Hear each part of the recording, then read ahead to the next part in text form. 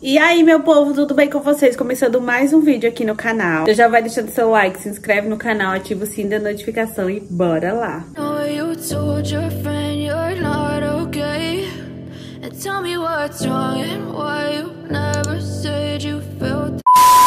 Pessoal, estou fazendo depilação a laser, estou fazendo nas pernas e vou mostrar pra vocês como que eu fiz a minha quarta ou quinta sessão, eu não lembro. É em média isso. Meus pelos sim já afinaram muito eu não vejo a hora de me livrar deles. Tá? Já acabou bastante pelo. Já perdi alguma quantidade, mas ainda tem. E também já afinaram muito. Que bom, né? Eu tenho muito pelo, gente, nas pernas. Então, quando surgiu essa oportunidade, eu consegui uma promoçãozinha fazendo ali divulgação. Então, eu logo corri e fechei meu pacote. Eu vou mostrar pra vocês como que funciona um pouco, tá? Ali da depilação a laser. Vou deixar aqui na descrição do vídeo mostrando quando eu fiz axila e virilha e falando mais ou menos também como que funciona e quanto que eu paguei na época. Axila e virilha foi meu primeiro pacote. Então é isso, bora lá! Bom, gente, então bora lá. Primeiramente, eles começam fazendo uma higienização e uma marcação, delimitando ali algumas partes ali da tua perna. Depois passa-se esse gel e vem com a sessão de depilação a laser em si. Esse é um movimento, eles vão fazendo esse movimento de vai e vem, de acordo ali com a área desejada. No caso, eu tô fazendo as pernas, tá? Eu já tinha feito a outra perna, então mostrei apenas essa. Vaninha, dói? Ó, nessa parte do joelho pra cima, essa parte da coxa, eu não sinto muito dor. Porque os meus pelos aí, eles são mais finos e eu tenho, vamos dizer, menos pelo, bem menos pelo, na verdade. Nessa parte do joelho, na parte de trás, eu já sinto um pouco mais de dor, que é onde eu tenho ali um pouco de foliculite. Agora, do joelho para baixo, gente, eu sinto bastante dor. Não é dor, é um incômodo, sabe? É como se fosse um choquinho, vamos dizer. Uh, até mexer aí um pouco a perna e um negócio quente. Mas é suportável, tá? E é só naquele momento. Não fica sensível depois, não dói depois. E é algo que vale a pena, tá? Isso também é muito relativo. Eu já sou mais de sentir dor e também tem uma pele muito sensível, então vai de cada pessoa. Caso vocês tenham mais alguma dúvida em relação à depilação a laser, comenta aqui que eu posso estar respondendo. Bom dia, gente! Começado no jeito nesse quarto.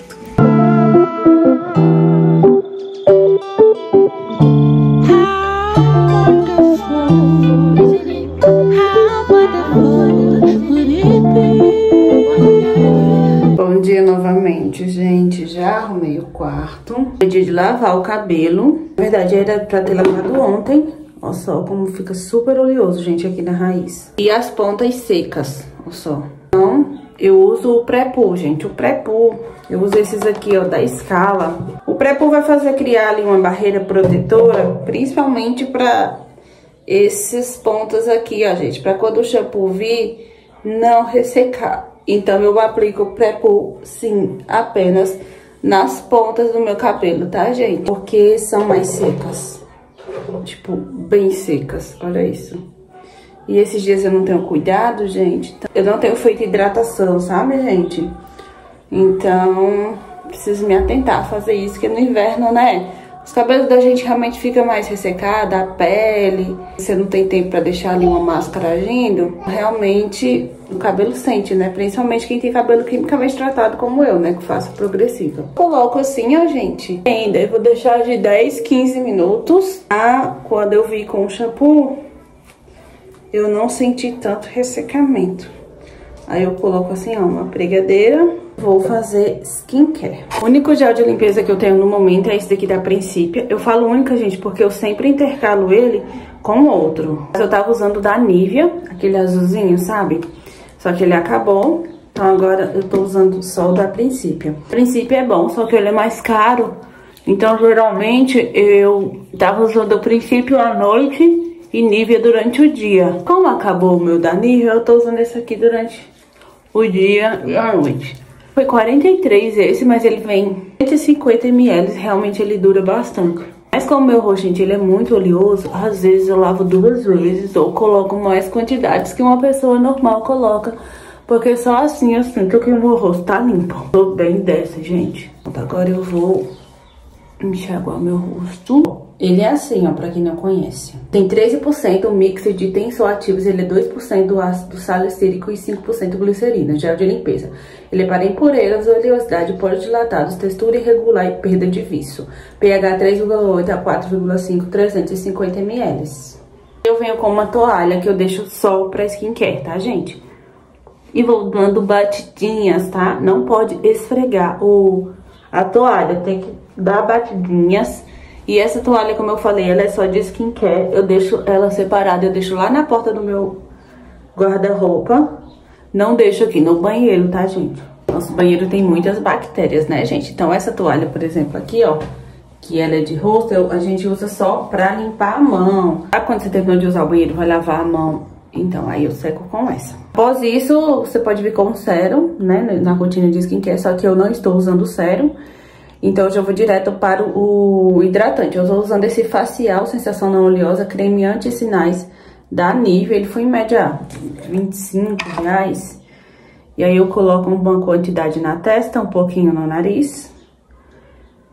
Bochecha, bochecha, queixo e pescoço. Eu tô com bastante espinhas, ó. Espero que não fique mancha. Fazia tempo, gente, que eu tinha tido espinhas assim, sabe? Dessas maiores. E aí eu vou aplicando ele diz para você aplicar em movimentos circulares, mas eu não faço em movimentos circulares não, gente. A real é que eu vou aplicando assim, ó. E é isso. À noite, geralmente, eu faço um pouco diferente. Se vocês quiserem, depois eu mostro como que eu faço a rotina skincare da noite, tá, gente? À noite eu uso tônico, eu uso outro tipo de creme, né, que é um noturno não uso protetor solar, então a rotina skincare da noite é um pouco diferente. Eu venho para o protetor solar. Geralmente eu uso esse daqui, é da Neutrogena. Esse daqui é 70, pele mista oleosa. Só que ele tá acabando, então eu uso ele mais quando eu vou lavar roupa lá fora, quando eu vou sair no sol. Ele tem uma proteção maior, né? Ele é 70. Como hoje eu vou ficar mais em casa, o tempo tá mais nublado.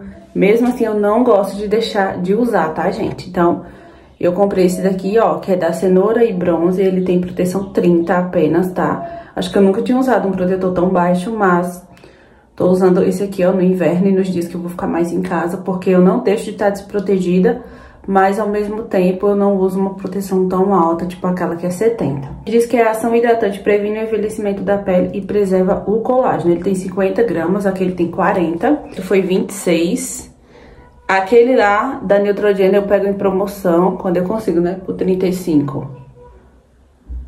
o valor mais em conta que eu já consegui. E aqui na minha cidade ele é muito mais caro, caro. Aí eu aplico essa quantidade. Ele tem um cheirinho muito bom. E vou espalhar. Ele tem um toque mais seco. Mas depois acaba ficando oleoso. Minha pele já é oleosa. Pronto. Por fim, o hidratante labial, né? Que às vezes a gente esquece, mas esfoliar os lábios e hidratar também é super importante. Eu tô usando esse daqui, ó, Carmed, que eu comprei numa promoção lá na Amazon por 14 e pouco. Esse aqui é de melancia. Não gostei muito do Carmed não, tá, gente? Não compraria novamente. Eu gosto porque ele tem esse efeito gloss aqui, ó. Mas eu já usei os da Nivea, já usei o Amora Shine. De deixar uma corzinha na boca, o da Nivea, ele hidrata mais. 10 gramas. Eu não compraria novamente, não. Isso, gente, é a minha rotina skincare. E aí eu vou esperar mais um pouco pra lavar meu cabelo e hidratar. Fiz algumas comprinhas em Campina, tá, gente? É, aqui são maquiagens nessa lojinha Make Brasil. E aqui são algumas roupinhas nessa loja Top Store.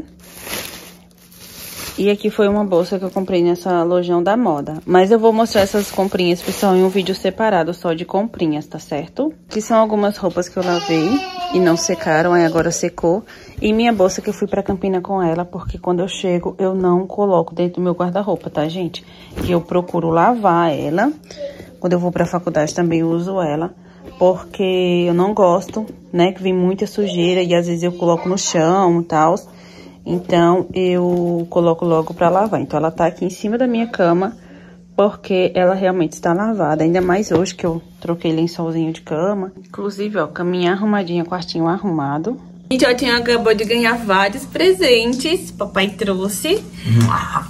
E bora ver? Uma. Olha!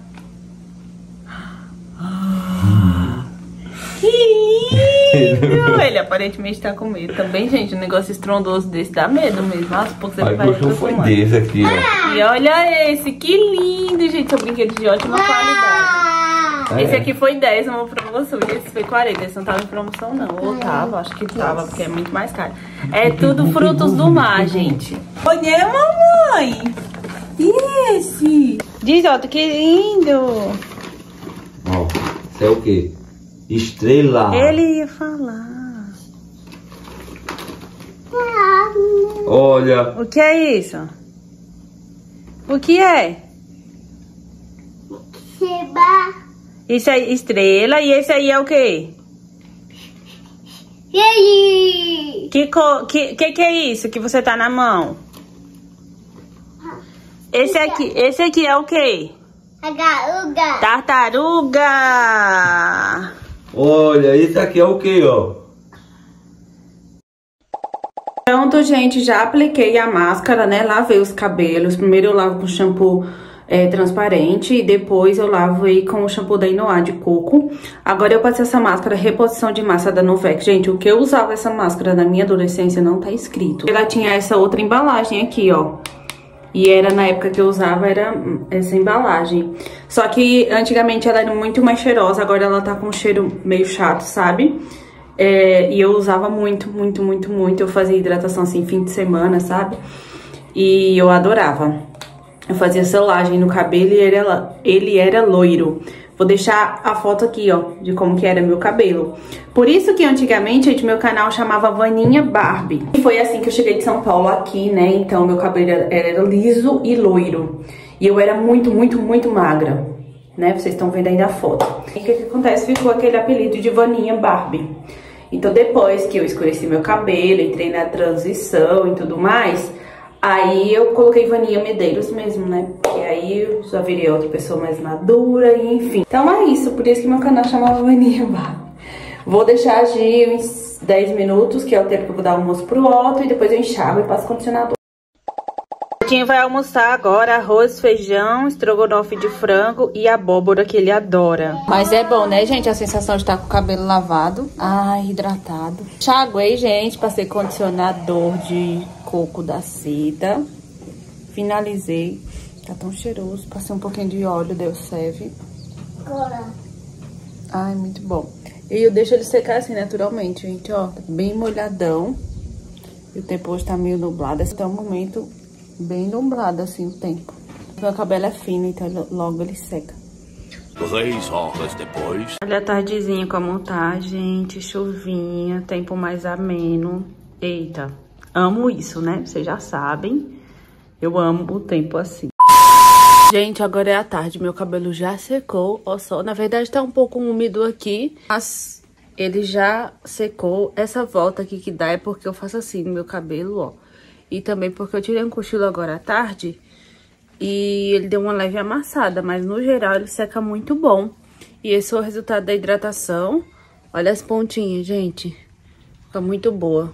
Eu vou falar um assunto com vocês agora, que a gente precisa falar sobre isso. Eu não posso falar o nome certinho, porque senão o YouTube derruba meu vídeo, tá? Mas é o seguinte, como vocês sabem, eu moro numa cidade do interior, tem em média 7 mil habitantes. Acho que não chega nem a 8, mas enfim. Algo em torno entre 7 e 8. Ou seja, uma cidade pequena, uma cidade super pacata. E aí, gente, no último mês, mês de junho pra cá, gente, aconteceu tanta coisa assim triste na minha cidade. Minha cidade numa cidade vizinha também. E acaba deixando a gente assim um pouco intrigado. É, ocorreu um acidente de moto, tá? Alguns dizem que o cara tava empinando, que ele tava tirando fino, que eu não sei o que é tirar fino, acho que é ficar meio que fazendo isso, enfim.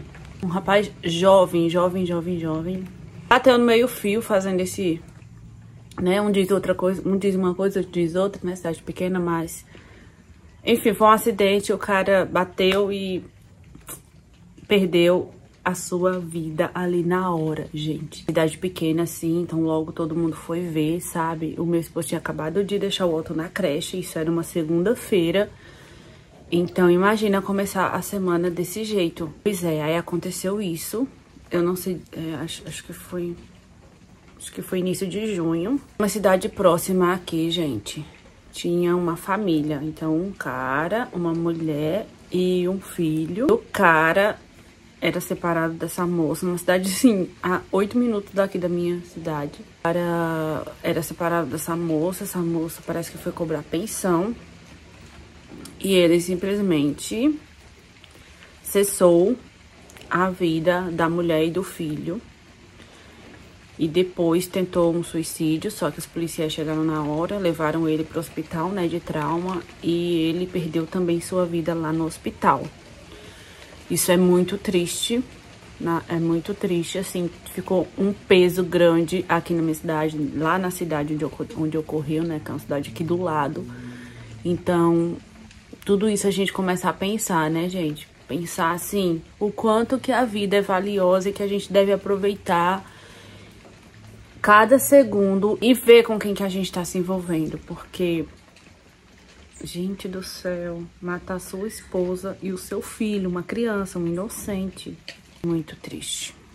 Aí quando vocês pensam que não, gente, do mês passado pra cá tiveram três, três, aquela palavra que começa com su e termina com sídio, sabe aquela palavra lá? Quando você quer acabar com tudo? Então, tiveram três do mês passado pra cá. Gente, o quanto que isso é triste. Primeiro, parece que foi um rapaz de 16 anos que tomou remédios, né? Que vocês estão me entendendo, eu não posso falar as palavras certas aqui. E parece que foi pro hospital, ficou um tempo lá internado e não resistiu.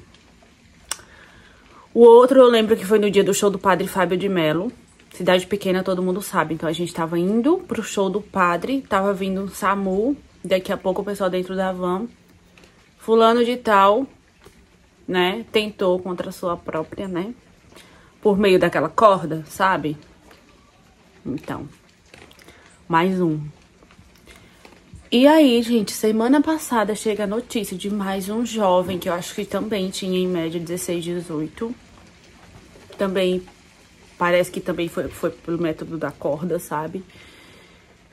E isso é muito triste, gente do céu, é muito triste. A gente que tem esses probleminhas, a gente fica pensando, né? Quanto que a gente já escutou que isso é frescura, o quanto a gente já escutou que isso é pra chamar atenção, o quanto que a gente já escutou várias coisas. Gente, como vocês sabem, eu tenho ansiedade, né? Síndrome do pânico, crises nos nervos. E uma vez já comentaram aqui no YouTube, né? Porque penso, o, povo pensa que internet é terra sem lei e então eles colocam tudo que dá na telha. Uma vez disseram pra mim que era na época que eu tava solteira e disseram pra mim que isso era falta de macho. Dá pra tu? Que eu tava com falta de macho. Então já chegaram a dizer isso pra mim. Já chegaram a dizer isso pra mim, que disseram pra mim que é falta de Deus. Enfim, gente, é pessoas pra chegar, pra criticar, pra falar que é falta disso, que é falta daquilo. É, que a pessoa tá com a mente fraca, sabe? Pessoas pra fazer isso tem muito, sabe? Agora, uma pessoa pra chegar, pra te dar um abraço, pra conversar com você, para dizer que tá tudo bem e que se não tá tudo bem, vai ficar tudo bem, para dizer não, quer que eu vá numa consulta com você? Vamos procurar ajuda? Gente, pessoas para fazer isso não tem. Não tem. Mas pessoas para vir dizer para você que você tá querendo chamar atenção, que é falta de macho, que isso é falta de Deus, que você tá com a mente fraca. E por aí vai. É o que não falta, não é isso? Gente, é, se vocês estão vendo esse vídeo, se vocês conhecem alguém que tem alguns, que tem problemas emocionais, que tem problemas mentais, que tem problemas psicológicos, é, não julguem, apenas ajudem. Às vezes um abraço é tão importante chegar para conversar, para contar como é que foi o seu dia. Isso é tão legal, isso é tão importante, sabe? Aqui na capital, eu tava assistindo, passou na TV aberta, um cara que teve um surto e simplesmente, gente, simplesmente ele arrancou os próprios olhos dele. O, o irmão vendo essa situação, colocou os olhos dele dentro de uma sacola com gelo e correu para o hospital, mas não deu mais para fazer nada. Então, hoje em dia, essa pessoa se encontra sem olhos. E aí, tem gente que chega pra dizer que quer chamar atenção. É que uma pessoa quer chamar atenção e arranca os próprios olhos. Gente do céu. Falei, pra julgar tem muita gente. Agora, pra chegar pra oferecer uma ajuda, oferecer um abraço, uma conversa, não tem. E aí é onde as pessoas estão cada vez mais querendo acabar com tudo. Muito triste você ver pessoas tendo o fim das suas vidas tão prematuro, sabe? Diversos motivos, né? Só Deus sabe o que passou na cabeça dessa pessoa nesse momento. Mas as pessoas que fazem isso não têm perdão de Deus, gente. Isso já é um julgamento. Sabia que isso já é um julgamento? Não, gente, não vamos julgar, não. Vamos orar pela alma daquela pessoa. Porque ninguém sabe o que estava se passando na cabeça dela. Ai, Vanessa, você tá defendendo. Gente, eu não tô defendendo, não.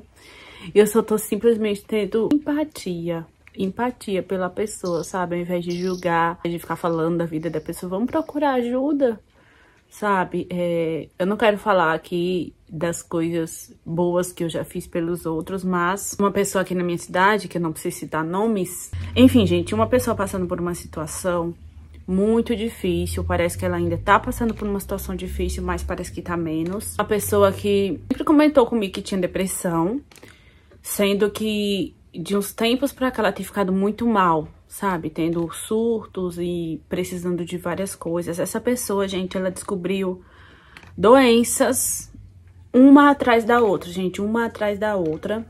E ela tem um filho autista, então a situação dela já não é tão fácil, porque só quem tem filho autista deve saber a situação que é, a criança dela não come, sabe? É, o marido teve que parar de trabalhar para tomar conta do filho e dela, porque ela, gente, descobriu. Ela já tinha depressão e bipolaridade, né? Então ela descobriu borderline, acho que uns 3, 4 anos no psiquiatra para descobrir, aí descobriu borderline. Aí depois ela descobriu fibromialgia, né, que é dor no corpo inteiro. Pedra na vesícula, ela teve que correr para fazer cirurgia. Tinha muito medo de fazer cirurgia mas conseguiu passar por mais essa. Ela agora tá com enxaqueca crônica. Gente, só Deus na vida dela, sabe? E ela já contou pra mim que já tentou. Já tentou terminar com tudo, só que Deus segurou ela e foi poupada. Né? Vou chegar pra dizer que ela tá querendo chamar atenção, não. O que que acontece? É, o marido, que era o único provedor da família, teve que parar pra cuidar dela, pra cuidar do filho autista. Então, ela disse que estava precisando de ajuda e realmente estava precisando de ajuda. E aí eu mobilizei uma, uma vaquinha, sabe? Pedindo ajuda, contando a situação dela, falando né, quem era ela, o que ela estava precisando.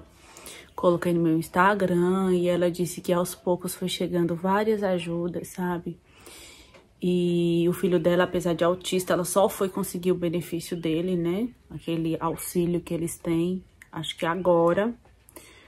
Por isso que eu acho que a situação dela tá menos pior, porque ele toma medicações fortes, ela toma medicações fortes e são medicações caras, né? Ela diz que nem sempre tem na Secretaria de Saúde daqui para oferecer, mesmo ela tendo laudo que ela tem que receber a medicação, então nem sempre tem. Mas enfim, então esse auxílio acredito que ajudou muito ela, só que na época ela não tinha esse auxílio. E aí eu fiz isso por ela, ela, foi muito grata e eu me senti muito bem fazendo isso, sabe? Porque parece que já tinham mobilizado uma vaquinha dessa, mas a pessoa tava simplesmente ficando para ela o dinheiro, o que é muito triste.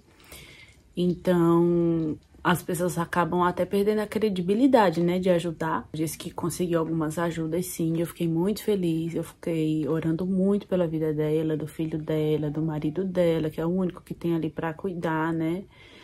É, apesar que ela tem mãe, pai e tudo, só que, enfim. Eu jamais vou chegar numa pessoa dessa e dizer que ela tá querendo chamar a atenção, que isso, que aquilo, sabe?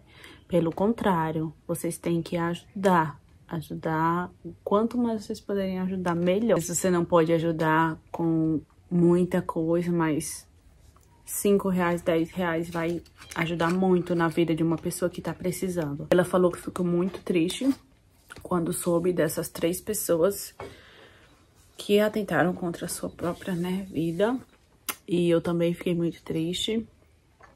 Mas aí a gente tem que orar né, gente? Orar para Deus ter de misericórdia, para livrar a gente de todo mal e tentar ficar ali sempre blindada por Deus, porque a proteção de Deus pode ter certeza que é a coisa mais importante. Eu sempre falo as minhas orações para Deus, a gente tendo saúde e paz, saúde física, saúde mental e paz na nossa cabeça. Gente, não há dinheiro que compre esses dois, sabe? Dentro da sua casinha, com paz, com saúde, sua família bem, todo mundo alimentado. Gente, literalmente isso não tem valor, sabe? Então é isso, gente. É... Vim fazer aqui um pequeno desabafo só sobre isso, porque é muito triste. A minha intenção aqui não é deixar vocês tristes, é realmente fazer aí esse desabafo e falar pra vocês, gente, não julgarem. Porque às vezes você julga, julga, julga, fala que fulano tá querendo chamar atenção, fala que fulano tá com mente fraca, fala tanta coisa e a pessoa acaba fazendo uma coisa dessa. Uma cidade pequena de 7 mil habitantes, de menos de um mês, eu acredito, pra cá, três pessoas atentaram contra sua, sua própria vida. Esse é um número muito grande, é um peso muito grande para a cidade. E teve essa outra, né? Esse outro acidente desse jovem e esse dessa família, né? Que todo mundo perdeu a vida por conta de um desequilibrado. Enfim, isso. Orem pela vida de vocês, orem pela família de vocês, porque parece que o mundo tá muito complicado. É isso, gente. Eu vou encerrar esse vídeo por aqui. Me perdoem pelo desabafo, mas eu acredito que é muito importante a gente desabafar. Não é isso? Um beijo, gente. Tchau, fiquem com Deus e até o nosso próximo vídeo.